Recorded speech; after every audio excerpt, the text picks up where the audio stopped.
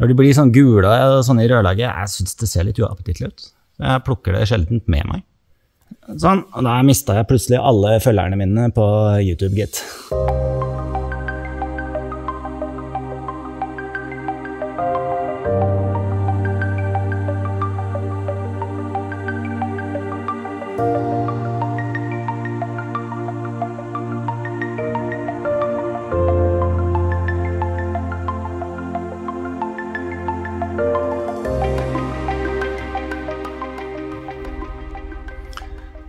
Hei og velkommen til Stopprykket nok en gang. Ja, dere ser kanskje hvor jeg er. På vei inn i skogen. Skal ut på en ny tur. Det har blitt en, ja, en liten uke siden sist jeg var ute nå. Så nå er det på tide å komme seg opp igjen og se om det har kommet noe, noe nytt og spennende her. Um, ellers kan jeg si da at uh, den derre YouTube-kanalen min den ser ut som den går ganske greit. da. Jeg har vel fått uh, på en uke nå nesten 50 følgere, og det er jo kjempegøy. Utrolig morsomt at noen har lyst til å se meg gå, gå på tur, rett og slett. Men uh, nei. Til dere som har uh, fulgt meg der, tusen takk. Det er jo kjempemorsomt. Så skal jeg prøve så godt jeg kan å publisere videoer litt sånn med jevne mellomrom. Det er jo klart det er veldig mye nå, for nå er det jo soppsesong, og det vil jo være nå et par måneder framover. Men jeg skal jo prøve å finne på noe gøy etter hvert også. Det blir jo litt andre typer videoer også, ikke bare disse turene mine. Jeg har jo også laget noen der vi går litt nærmere inn på en art, så hvordan du gjenkjenner den, og vanligste forvekslingsarter og litt sånne ting. Blant annet kremler og skrubb og kommer en ny en snart om steinsopp. Um, så blir det litt sånn andre typer videoer, kanskje med noen oppskrifter og oppbevaringsmetoder, preservering, preservering av sopp. Ja, litt diverse. Så det kommer nok mange videoer der framover. Så følg med. Det blir, det blir gøy. Nå skal jeg lete etter spennende ting, og så skal jeg ta med meg all matsoppen jeg finner hjem. Ha med en svær kurv i dag, og håper å fylle opp den. Skal vi se hva vi finner. Og jeg må jo si at turen starter jo veldig, veldig fint. Her er det noen fine grønnkremler. De skal jeg ha med hjem. Her er det noen uh, rødbrune pepperisker. De tror jeg ikke blir med hjem. Men bortover her så er det flere grønnkremler. Så det er veldig mange grønnkremler innover her òg. Ser du ved siden av treet der. Og her er det en steinsopp som er lagt av snylter. Den blir nok liggende, dessverre. Kanskje den her. Vi får gå bort og se. Den ser ok ut. Er jo generelt veldig mye snyltere her. Så dette kan jo være litt stygt. Nja Den er veldig myk. Myk helt opp til hatten her. Og jeg regner med at vi finner ganske mye steinsopp nå, selv om det kanskje er bitte litt på hell, den, den verste blomstringa. Men jeg regner med at vi finner såpass. Og du ser denne klumpfoten her. Den er jo ikke bra. Så det var et litt sånn tja-eksemplar, så vi lar den stå. Men grønnkremlene, de her, de så ved første øyekast veldig fine ut. Så vil jeg ta med oss det i dag. Etter å ha gått rundt her i et par minutter nå, så skjønner jeg at det er en liten kirkegård av ødelagt steinsopp her. For her er jo alt ødelagt. Enten av snylter eller markspist. Alle vokser jo opp som ødelagte, deformerte greier. Det var ikke spesielt morsomt. Men den snylteren får vi ikke gjort stort med, dessverre. Hva er det her for noe? Ved siden av kurven der. Der er vel en fluesopp. Dette er vel en grå fluesopp.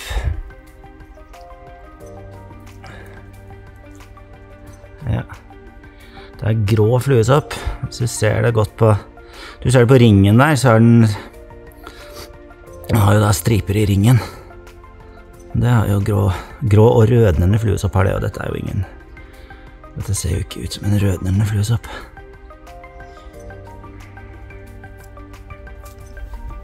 Bare for å understreke poenget mitt her, da. Her vokser de jo opp. Er helt kritthvit og albino, tatt av snylter, alt sammen her. Det er eh, dessverre sånn naturen er. Her er det en Her vokser det opp en på skakk. Her ligger hatten til en ganske død en. Der her ser jo ikke ut. Her kommer det vel opp en litt ved siden av her, hvis det er en steinsopp, da. Kanskje den er frisk? Dette er ingen steinsopp. Dette er en Dette var en kremle. Her ligger alle de syke stakkarene strødd nedover. Det er klart, snylteren har hatt litt tid nå på, på å spre seg, og det Det syns. Den kremla som vi fant rett ved, den eh, kan jeg jo ta med. Den er jo kjempefin. Knallhard helt ned i foten her. Og liksom sånn ja, rødbrun-ish. Det er litt sånn ubestemmelig rødbrun farge. Dette er jo da nøttekremle. Litt sånne små gule flekker og litt sånne ting her på den. Nøttekremle, ypperlig matsopp. Så når steinsoppen er pillråtten, så får vi, så får vi ta med den. Da går denne kurva her. Der så jeg noe i øyekroken. Den der så jo ved første øyekast eh, frisk ut. Vi får gå og inspisere. Kjennes fast ut. Ja. Den er fin. Ser helt grei ut.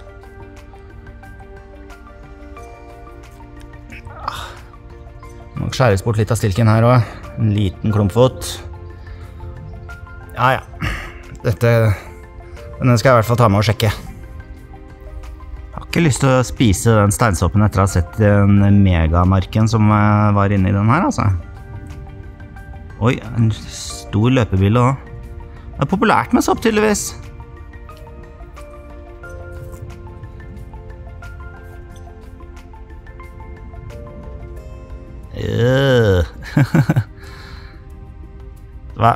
Vi skal la Marken og Billa få lov til å ha den her. Det er greit. Det er mer enn nok til alle.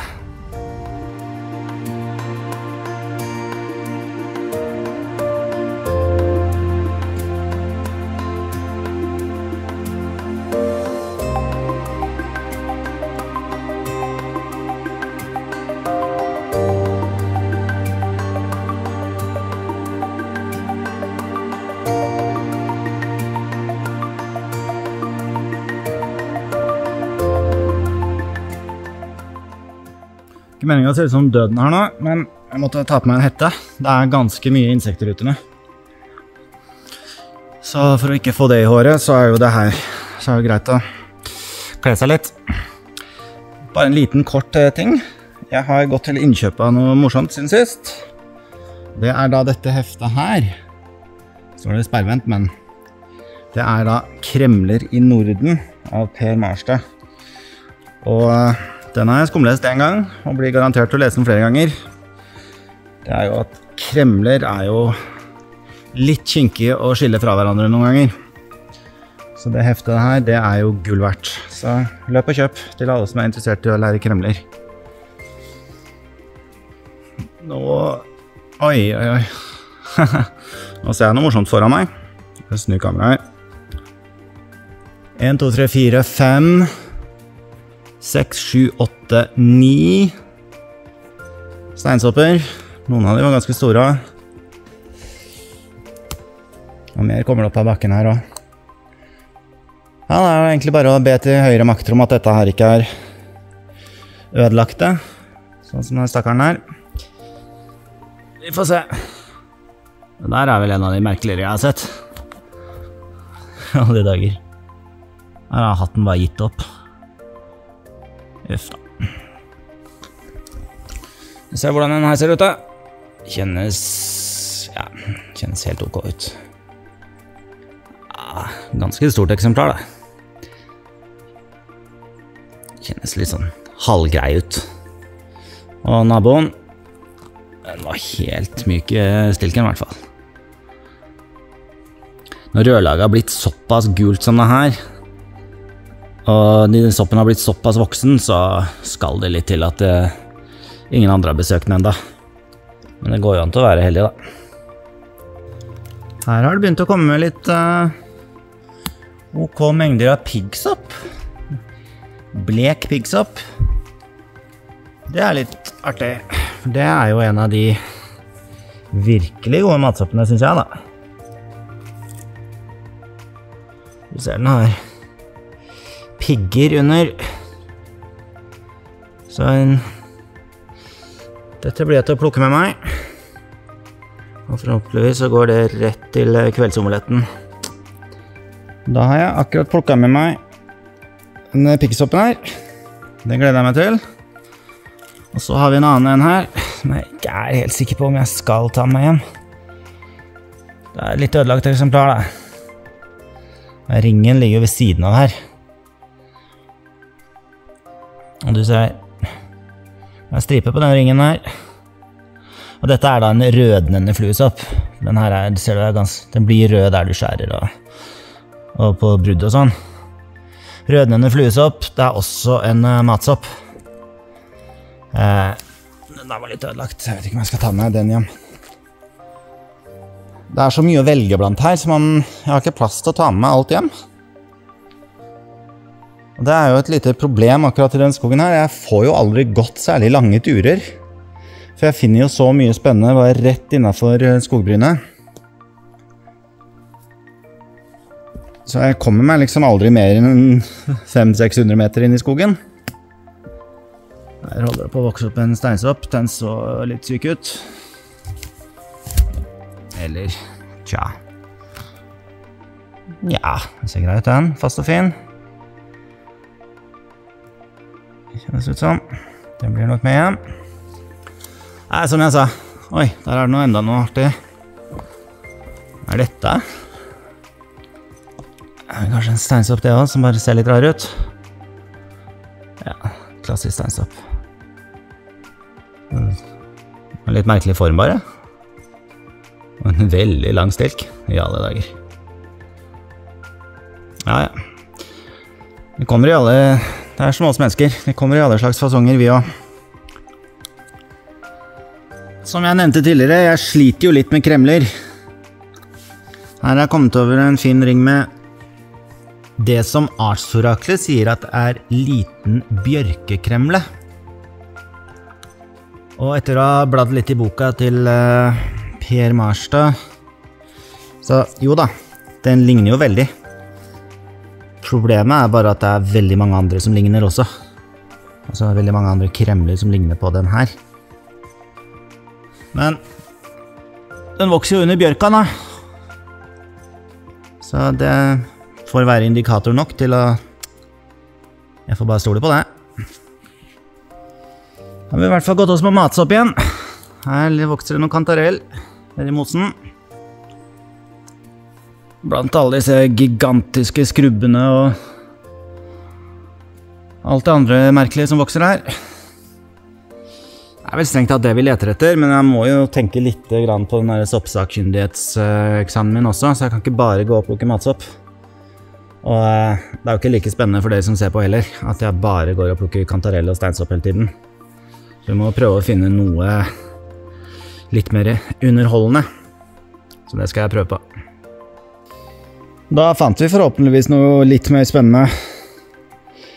Til tross for den usannsynlig uappetittlige fargen på den her, så heter den svartriske.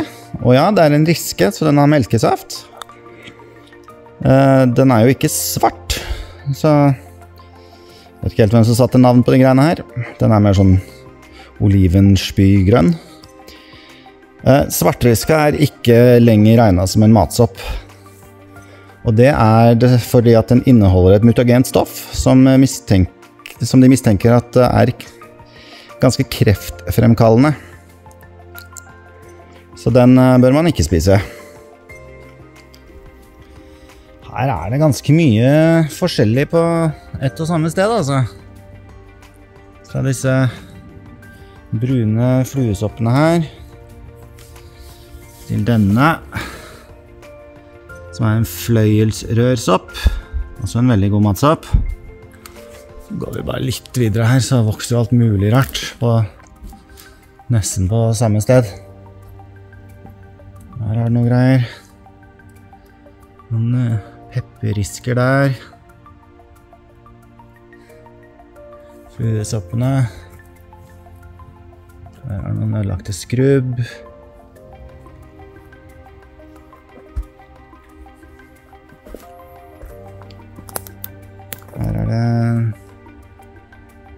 Det som ser ut som en kremle. Jeg skal sjekke den etterpå. Og så se her, da. Her er det granmatrisker. Og dette er jo en veldig god matsopp, syns jeg. Når de blir såpass voksne som det her, at de slår ut i full hatt og Da er de veldig ofte markspiste, dessverre.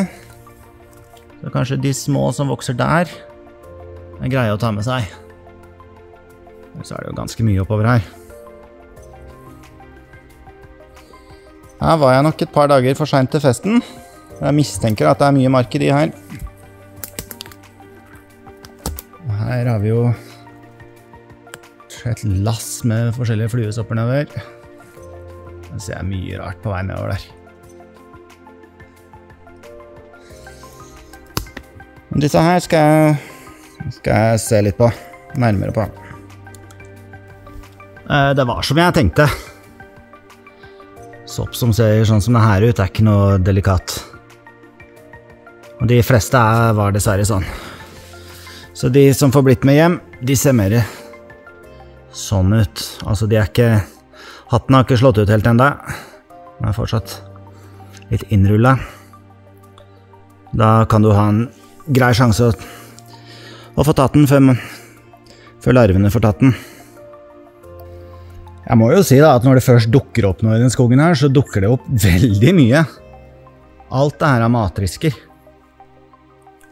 Det er jo ganske sprøtt hvor mye som kan dukke opp på veldig kort tid her, og av samme art. Det er jo litt som jeg har sagt tidligere. Altså den skogen her, der er det jo Den må jo vokse på en eller annen magisk kilde eller noe sånt, for her er det jo så mye rart. Her er det noen vorterøyksopper, mer matrisker overalt hvor du snur deg. Dessverre, så, som jeg nevnte i stad, jeg har vel sjekka åtte-ti av de voksne her, og de har var jo markspiste alle sammen, så jeg plukker med meg de, plukker med meg de unge og fine. Skjedd noe rart. Hva er det som har skjedd her, da? Er det noen sporer eller noe nett som har lagt seg her? Wow! Det er noe mugg eller et eller annet rart som har lagt seg over disse fluesoppene. Det vet jeg faktisk ikke helt hva er.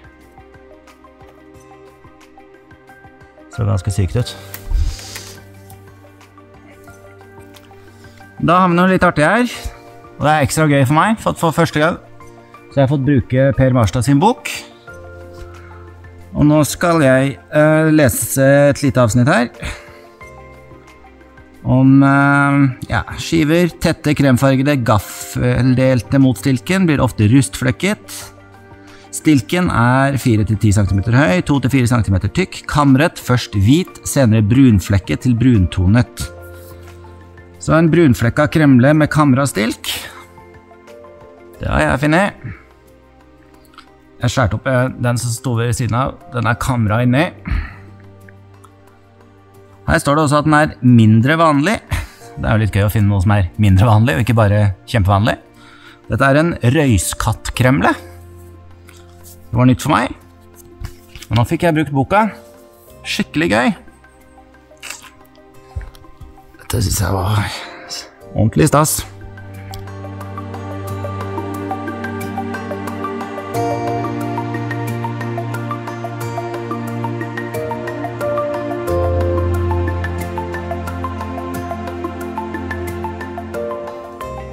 Nytt nå fra de siste par turene mine, det er jo at uh, piggsoppen har jo virkelig gjort sin entré i skogen. Det er store mengder uh, både blek og rødbrun uh, piggsopp. Og kurva, den uh, bærer preg av det. Jeg syns jo piggsopp er um, en kjempegod matsopp, jeg. Så dette er jo det jeg absolutt tar med meg mest av. Så det kan godt hende at noen av de riskene og kremlene som som ligger der, de må vike plass. Jeg var jo så dum i dag. Jeg glemte jo å ta med ekstra sånne små små papirposer og små pappbokser. Jeg liker jo å skille soppene litt, men nå ligger jo alt blanda nedi her. Og kremlene på bånn, så de blir nok kanskje litt vel ødelagte. Så de kanskje jeg bare legger fra meg. Så jeg kommer og plukker kremler en annen dag. Jeg så noe litt artig på en video en gang. Der de snakka om piggsopp. Det er den her. Og det var at han som plukka det, som var mykolog og ekspert Når han gikk hjem fra skogen, så brukte han å ta og ta disse piggene under. Og bare gå rundt og løsne piggene, sånn at de falt ned på skogbunnen hvor enn han gikk. Det er for å spre sporene, da. Og forhåpentligvis kanskje spre voksestedene til piggsoppen. Om det funker, det Oi, det var en mygg. Om det funker, det vet jeg ikke. Men eh, hvis det er en milliont eh, sjanse for at det kanskje spirrer og gror, så er jo det gøy. Tviler litt, men Tja, han vet vel bedre enn meg. Jeg syns det høres rart ut uansett. Det er ikke noe jeg kommer til å gidde å gjøre, i hvert fall. Det er mer enn nok fra før. Denne her var litt gøyal. Så jeg får fokusert kamera her. Helt hvit i skivene og veldig svartbrun resten. Dette er en sotriske. Den har jo et ganske spesielt utseende, da. Utrolig kul sopp. Det er sånn uh, emo goth-sopp. Ganske hvit i ansiktet og svart resten. Dette er jo også en eh, matsopp, det.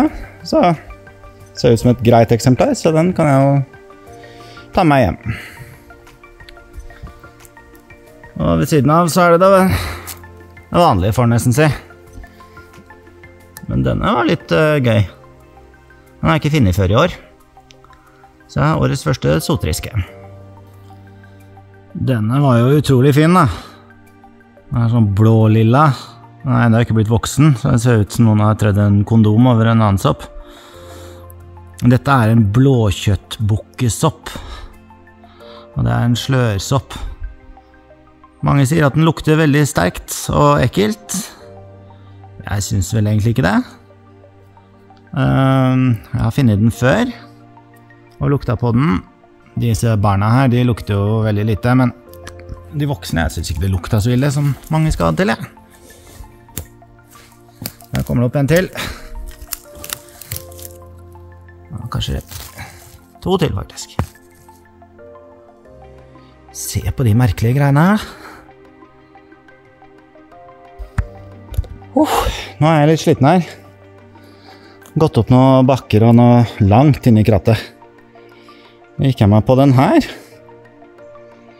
En uh, brunsvart rørsopp. Du ser hva som skjer når du trykker litt på rørlaget på den her. Den blir grønt. Eller sånn grønn-blått. Men svartbrun rødsopp, de er da en ypperlig matsopp. Så den uh, Den får lov til å bli med hjem. Går man litt bort fra stien og opp i blåbærlynga og litt oppå noen Hvis det er noen høyere steder, høyereliggende steder i skogen, så finner man mengder av den her. Sandsoppen. Også en røysopp. Jeg blir ikke til å plukke med meg den her hjem nå. Jeg har alltid sett på det som en liten sånn trøstesopp når jeg ikke finner den så mye annet. Det er en helt ok matsopp, men smak er jo subjektivt, så det kan godt hende at noen har den som favoritt. Um, så denne er det ganske mye av nå. Bare man går litt opp i ulendt terreng, sånn som her. Og ikke nedi den der flate, mosedekte skogbunnen. Da har vi funnet noen Det som ser ut som noen risker. Nå er det mye fluer og sånn her òg. Dette tror jeg er en hulriske. Det, er jo, det ligger jo i navnet hvordan vi finner ut det. Du ser jo melkesafta piple ut her, så en riske er det i hvert fall. Og hvis man skjærer den stilken der i to Skal bare finne fram kniven min. Så skal den være hul inni. Og det ser du. Den har hull. Ta stilken. Hulriske. Nå er kurven min litt vel full, og litt mer litt variert, så jeg blir ikke til å ta med disse her. Men som sagt, det er en matsopp. Den er spiselig etter avkoking, den her visstnok. Og ifølge mange en ganske grei matsopp. Den starter litt sånn, sånn lillaaktig i hatten. Så blir den gradvis mer brun og litt blastere når den eh, vokser opp. Den her skal vel være den blacksa de alle. Ja. Den får en litt sånn, sånn ikke-bestemmelig farge. Den går fra det til det. Den starter vel til og med enda litt mer lilla enn det her.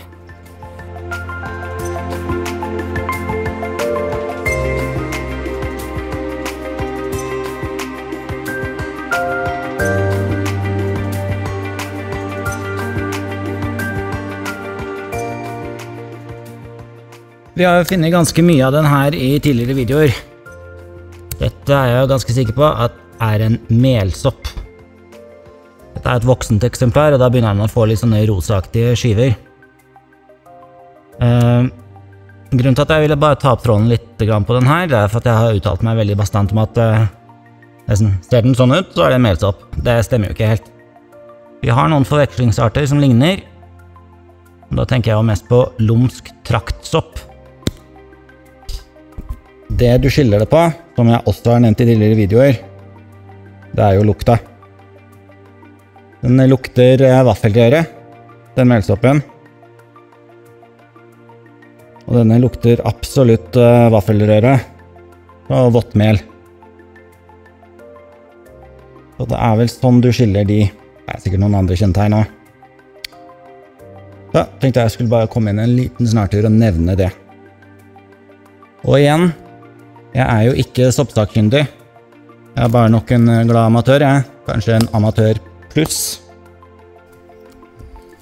Da har jeg kommet over det som ved første øyekast ser ut som en av mine favorittsopper. Dette er en gul kremle. Den så litt oppspist ut, men det er en kremle. Det er jo bare å ta den ostetesten, og så trevler den. Nei, det gjør den ikke. Men den er jo markspist, da. Men for å finne ut om det er en spiselig kremle du har, ta litt av den. Før du gjør det her, skal du være sikker på at det er en kremle. Det er veldig viktig å påpeke. Kan du smake litt, tygge litt lett på det, og ha det litt ytterst på tunga.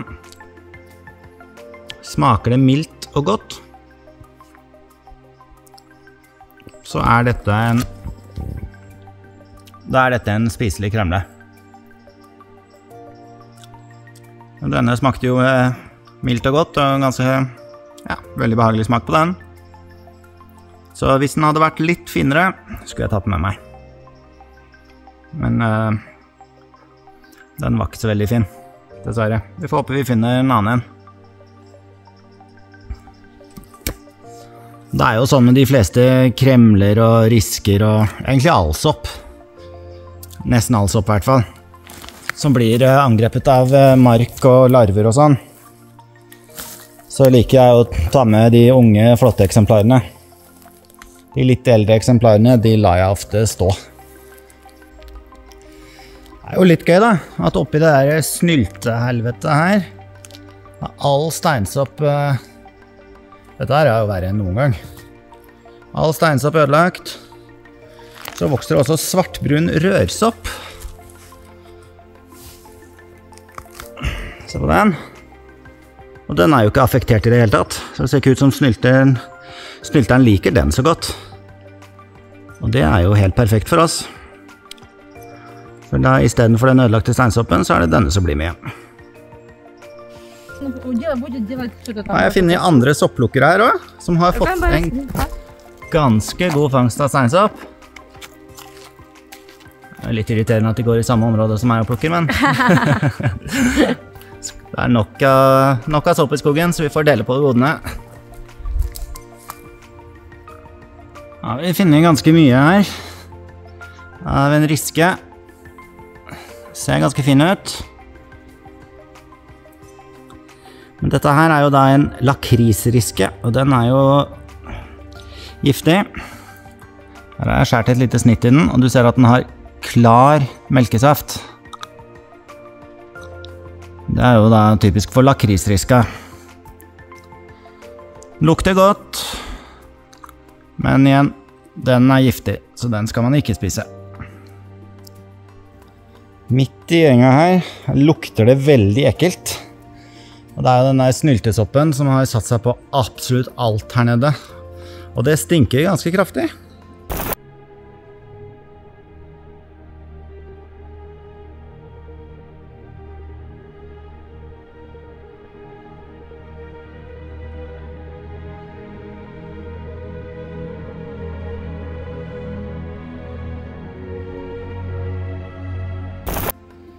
Midt oppi her så er også noen Oi.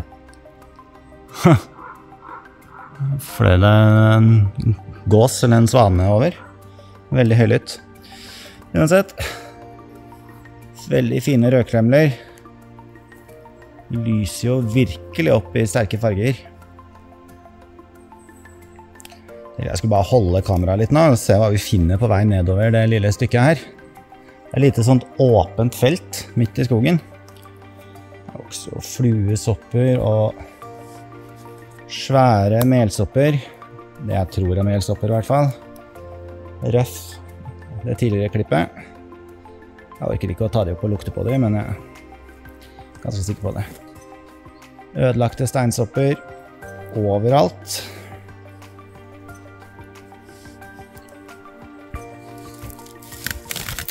Her er det en som så litt frisk ut. Vi kan se på den.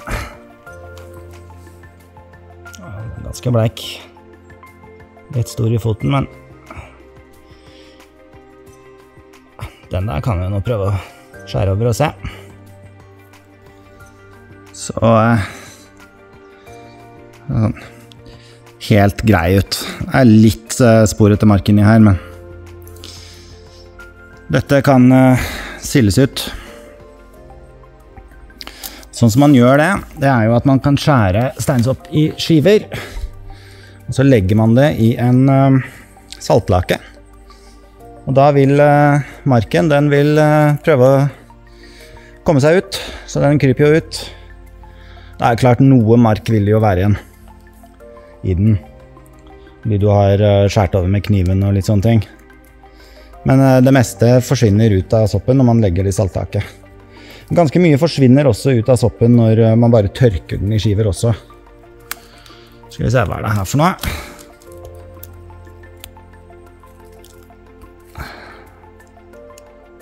Oi. Det så nesten ut som en litt syk sotriske. Den var litt hvit og ekkel på stilken, men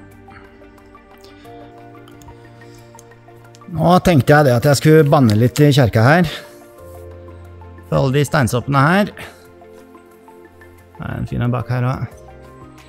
Når de kommer liksom opp i den størrelsen her jeg, jeg, jeg plukker det sjeldent med meg, altså. Jeg liker det ikke. Jeg vil gjerne ha de bitte litt mindre. Når de begynner å bli sånn gule i rødlaget Jeg så jo den ganske fin ut, da. Veldig fast og fin i starten. Ja, kanskje jeg får uh, ta tilbake det jeg sa. Kan prøve å skjære den og se hvordan den er, i hvert fall. Den her var veldig myk og jævlig. Ja. Når de blir sånn gule og sånn i rødlaget, jeg syns det ser litt uappetittlig ut. Jeg plukker det sjeldent med meg. Liksom Den perfekte størrelsen for meg er liksom Der. Liten, fin, hvit i rødlaget. Sånn, og der mista jeg plutselig alle følgerne mine på YouTube, gitt. Og her ser man også litt av grunnen til det. Det lever jo ganske godt inni der. Det er fullt av insektliv. Var ikke de her de aller verste? Nei, så jo helt greie ut. Så her er det bare å Der rødlaget har blitt såpass gult som det her, der pleier jeg uansett å fjerne det. Men altså Denne tar jeg med. Litt av poenget er jo det at jo lengre steinsoppen får stå, jo flere insekter eh, er det i den. Det syns jeg er eh, ganske ekkelt, så jeg tar med liksom de unge, fine eksemplarene. Jeg. Og nå, når det er så mye å velge mellom i skogen, og man kan velge å ta med en tjåkfull kurv med bare små, fine der med hvite rødlag, så gjør jeg heller det. Her er unntaket. Her har jeg funnet en ganske stor slørsopp. Det var ganske massive. Det er ikke noe tvil om at det er en slørsopp, hvis du ser på den her. Her henger sløret fortsatt igjen. Dette fortalte artsoraklet meg at var en kransslørsopp. De var jo ganske fine, de. Lurte meg litt. Trodde at det var noe annet men først så den. Og det evige spørsmålet hvor råtten kan en sopp bli? Vel Vinteren kom tidlig i år, ser det ut som. Det er jo helt jævlig.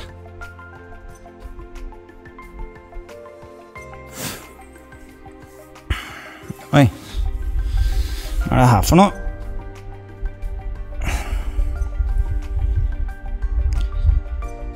Riske? Oi, ja. Den lukta kokos. Jeg hater kokos, men uh, Ja, dette er vel da en kokosriske. Eller mørk kokosriske, heter det vel. Litt usikker uten å ha sjekka det, men jeg regner med det. Da, etter å ha gått og snubla over eh, døende steinsopper de siste 20 minuttene, så fant vi noe ordentlig morsomt her. Dette er en korallsopp. De var litt små, men. Dette er en grankorallsopp, og er ikke av de som er regna som eh, matsopper. Det var utrolig morsomt å finne, da. Det her tror jeg ikke jeg har sett før. Det vokser masse oppover her. Kjempegøy. Soppriket er veldig variert. Fordi dette her er jo en sopp som, i, som alle andre der. Den ser jo helt eh, sprø ut. Det fins faktisk ting i naturen som er bedre enn sopp. Dette her er jo en liten personlig favoritt. Bjørnebæra har kommet til i år. Å, herregud, det er så godt. Her blir nok jeg stående og spise neste kvarteret. Og ganske mye òg. Litt tidlig for bjørnebær, vel? Ikke så veldig ofte jeg syns skrubb er veldig interessant. Men denne finner jeg ikke altfor ofte. Dette er jo da en svartskrubb. Også en spiselig sopp. Samme som rødskrubben. Den må bare kokes litt først, eller varmebehandles litt først. Så det det var litt gøy å finne noe nytt innen skrubbene. Det er jo bare rødskrubber jeg finner. Rødskrubb og brunskrubb. Det er jo en naturlov at alle gode ting må ta slutt en gang. Og eh, så også denne videoen. Litt hoverende sagt, kanskje. Nei, jeg har vært ute i skogen i mange timer nå, så nå er det på tide å komme seg hjem. Jeg er jo tørst som en maratonløper. Jeg fant ganske mye gøy på denne turen her. I tillegg til alle matsoppene som jeg har tatt med meg. Som da består Så kan jeg se oppi her. Dette er jo da stort sett steinsopp. Og en god del uh, piggsopp. Piggsopp syns jeg er godt, så det har jeg tatt med en del av. Så jeg måtte jo selvfølgelig alle de riskene og kremlene som jeg fant, de måtte jo vike litt plass, de, dessverre. Ikke det at uh, jeg ikke syns det er gode matsopper. Det er det absolutt. Men uh, Jeg hadde ikke med meg egne pappesker og papirposer for å skille ting eh, i dag. Og når da Når da kremlene som ble liggende på vann, så ser de ikke så veldig fine ut lenger. Og jeg rensa også en del av de, og de var jo rimelig markspiste, de fleste. De fleste riskene også, matriskene. De, selv de unge. Så man skal være litt heldig med når man finner de der. Jeg var nok et par dager for seint ute. Uansett, nå er denne videoen over. Utrolig gøy at eh, noen eh, har begynt å følge YouTube-kanalen min og syns det er ok å se på disse videoene. Det setter jeg stor pris på. Så for å ha velkommen tilbake neste video. Vel møtt.